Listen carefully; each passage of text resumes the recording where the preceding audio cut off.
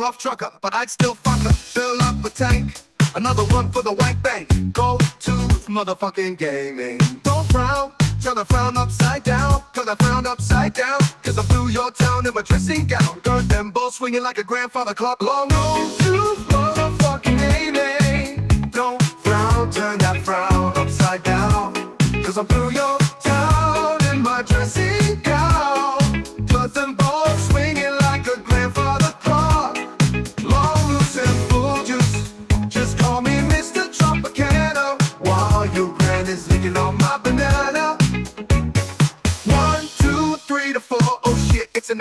my door. She's about to get raw. Want a jaw, good night, sleep tight. I hope you're alright. You nearly gave me a fright. You might not be able to bag again. So put on some tights. Get on the corner and sleep with men. And lick sacks from the back.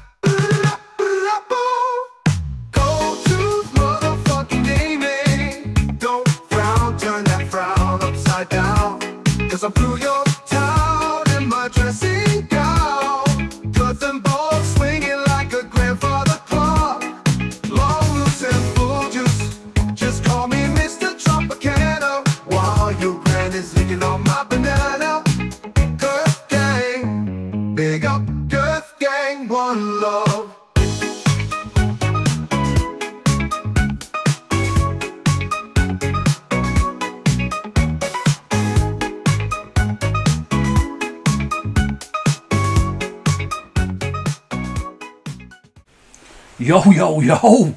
How is everybody doing? It's Goldtooth. Welcome to Goldtooth Gaming. Big up! Oh, yes. Hope you're doing well, keeping safe, keeping sexy.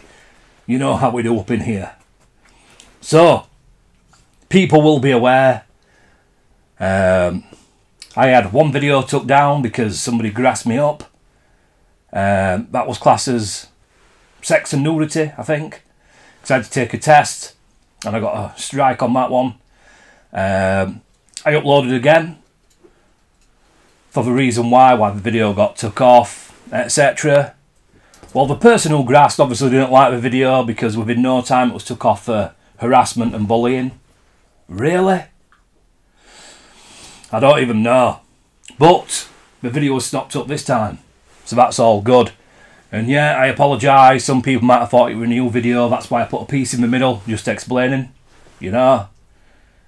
But yeah, everybody, big up. So we got some pickups today. Pick up, pick up. Yes. So in the previous video, I was explaining that comments vanish. Um, we just disappear into thin air. Ooh, whatever. I have comments disappearing. I know people who've left me comments who've mentioned that the comments gone, etc. Then, Access Area 6 Kev, he'll mention in his previous video that he was responding to somebody's comment about a controller.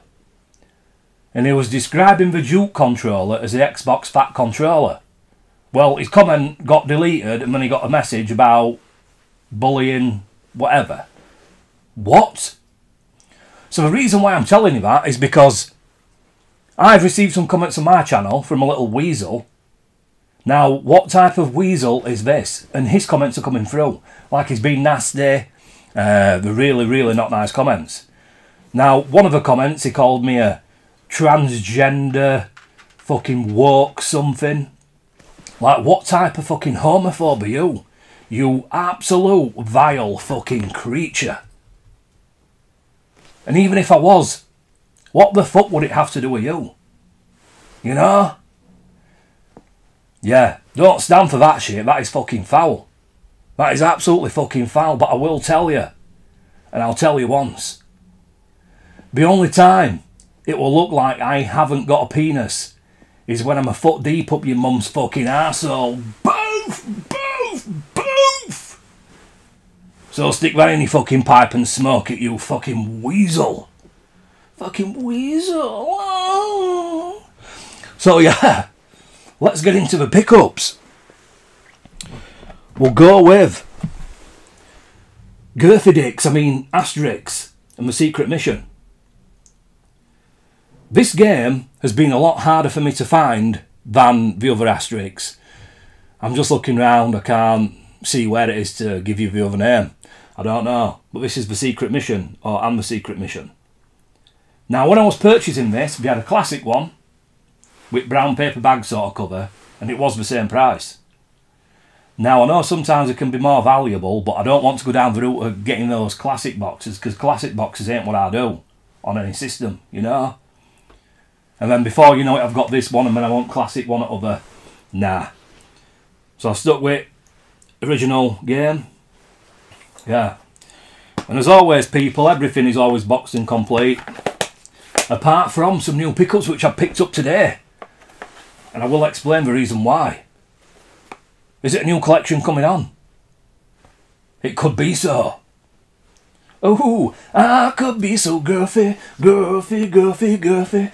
I could be so girthy in love. Oh, yeah. I don't know.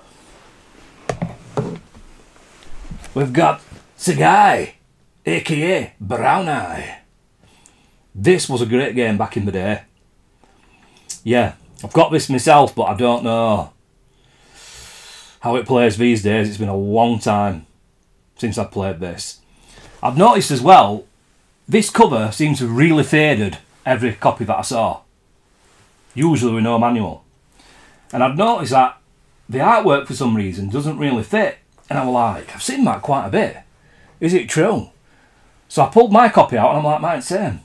Very odd people. But yeah, I remember that as a great shooter, a great shmup. And it's done by Taito. Oh. So, I think this one in the pink, two in the stink is going to be an absolute fucking beauty. I'm looking forward to kind of playing all these. And that is a winner. Oh, before I get into any more pickups, one of my mugs is going to get hand delivered to an unsuspecting person. Hmm, you're not going to have a clue until you get given it in your hand. So yeah, I'm not going to say who. Even if you put a comment saying who, I'm not going to tell you because it's going to be a big surprise. But yeah, somebody's going to get that hand delivered. Is it true? It's true. We've got Deathsmiles 1 2. Mm. For the PS4 this time, originally I'm thinking, well, do I get it for Switch? The Switch version was, I think it was a few pound more. And I was like, look, I get trophies on PlayStation, you know? And I'm like, mm, I'll get it on PlayStation, or do I? So I went on CeX, had a quick look. That was selling on CeX for like 50 plus pounds. And for the money that I got it for, I'm thinking, whoa, I could make a straight tenner just in trade for the money that I bought it for. And I'm like, it's got to be PS4 version. And for me, earning them trophies, it gives me something to work towards, you know? So it keeps me at games, it keeps me at games. Look what trophies left. Oh yeah, I'll go for that. And that is the only reason, to be honest. And the value, which I thought it's not worth me buying a Switch version at all. Plus, like I say, I always believe that PS4 versions, PS5 will run better than the Switch would. So yeah, if that ain't good, or that ain't in the pink, there's something really wrong. Wonder Boy in Monster World. Ooh. Yep. All boxing complete. Now, this is the last Wonder Boy that I need for him, for the mass system. So, big up! Yes! Oh, girthy boy! Swinging it like a grandfather clock. Pop, pop, pop, pop, pop! Yes. This has been hard to find, to be honest, out in the wild. It really has. Uh, the others were fairly easy. But yeah, that's been a swine. Um, at the same time, believe it or not, as the Asterix, I could have picked up the bag version of this. And I'm like, nah. Nah. We need the old school one. So yeah, Wonder Boy in Monster Girth World. It is what it is, people. You know it. Right. So, girth type. Mm. great game. Great game. Now, this really isn't kind of up to my standards. I'll be honest with you. It's not something I'd usually pick up in this condition. Um, but the price,